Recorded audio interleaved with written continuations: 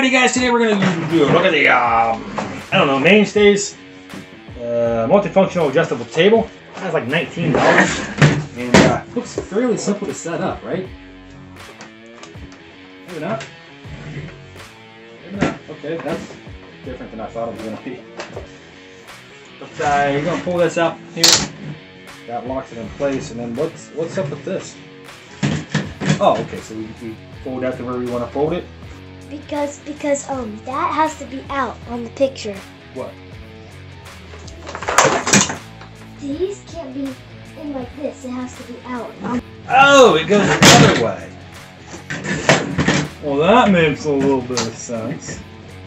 All right. So then. But it doesn't. Oh, okay. All right. That makes way more sense. Look at the picture.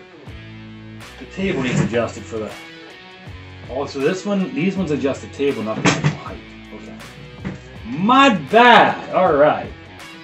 Now this guy, nice little uh, drink tray, I guess. Uh, a little flimsy, but it does it does have a pin here where it kind of locks into uh, where push it up out of the way.